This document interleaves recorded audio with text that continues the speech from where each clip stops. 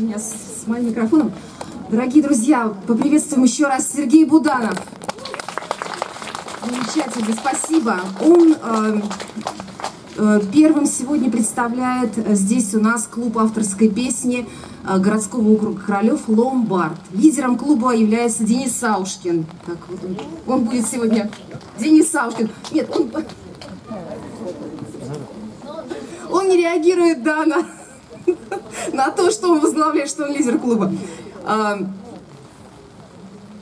Денис, я прошу прощения, я представила вас сегодня как а, лидера клуба. Нет, если можно попозже, да, вы выступите попозже. Можно. Как, как начальника я пыталась его сегодня представить, он не хочет. Я выйду, быть. поклонюсь. Да.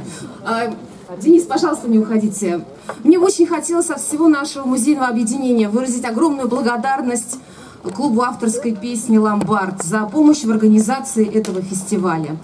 Огромное вам спасибо. Пожалуйста, поприветствуем замечательный клуб авторской песни «Ломбард».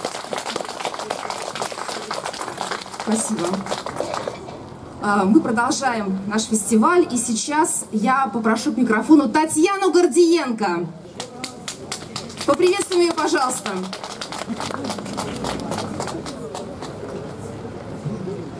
Добрый день, дорогие друзья! Сегодня мы говорим и чествуем замечательную женщину, поэта Марину Цветаеву. Я хочу начать э, чтение сегодня именно с ее стихотворения, которое, мне кажется, было ее жизненным кредо.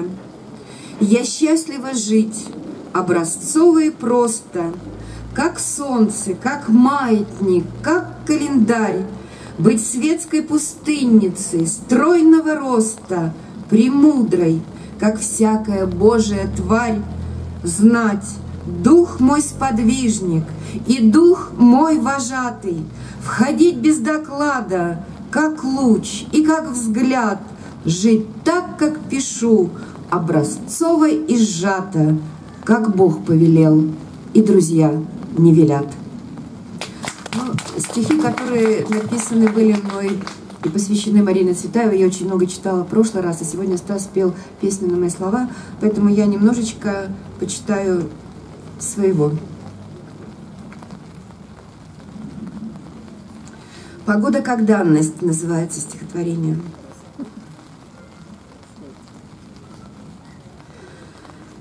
Погода как данность, гроза за грозой, Горячие полдни — лишь редкое чудо, А лето Косится коварной гюрзой и кличет дожди, неизвестно откуда.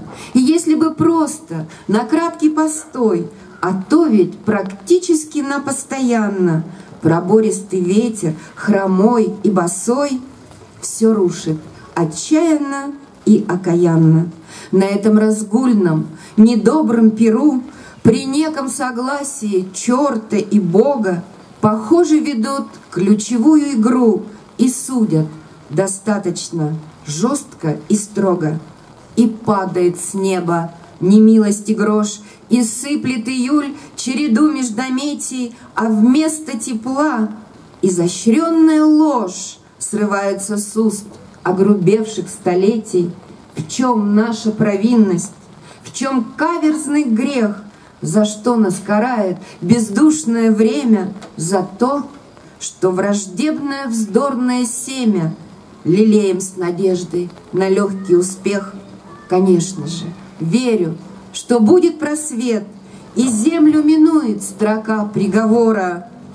И мы, избежавшие участи вора, еще насладимся всей прелестью лет.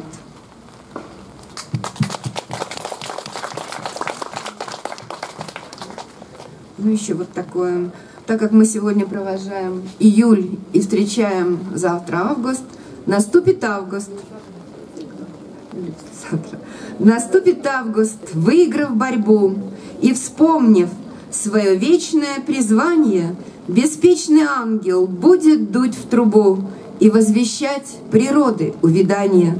У всех, похоже, дел не в проворот, а строчек недописанных, тем паче — мы молча встретим август у ворот, И об июле даже не заплачем, А он уйдет, понурый и босой, Весь вымокший, практически до нитки, и, может, даже выпадет росой у чьей-то незахлопнутой калитки. Но мы, по горло сытые дождем, так жаждущие солнечного света, его не вспомним. Мы его не ждем. Теперь уже до будущего лета.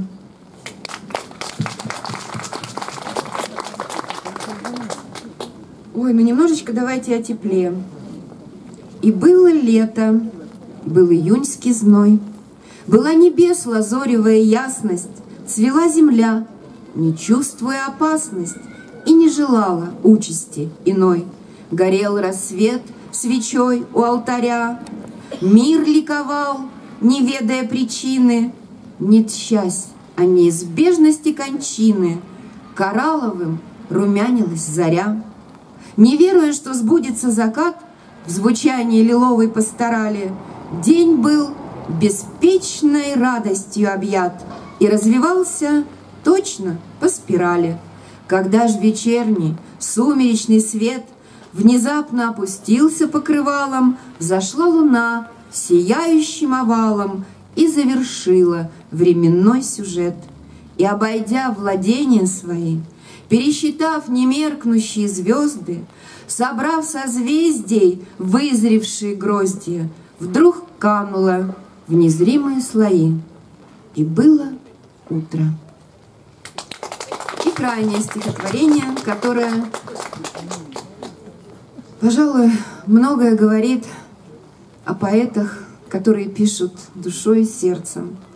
Как нелегко рождается строка. Вот забыла. Из боли и потаенной дрожи, чтобы в веках остаться на века и сделать их и преданней, и строже.